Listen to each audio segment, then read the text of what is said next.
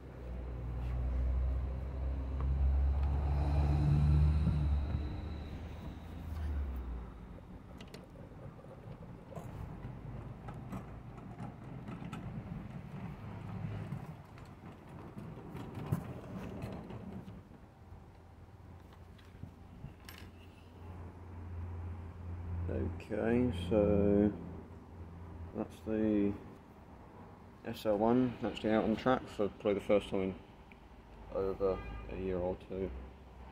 Adios.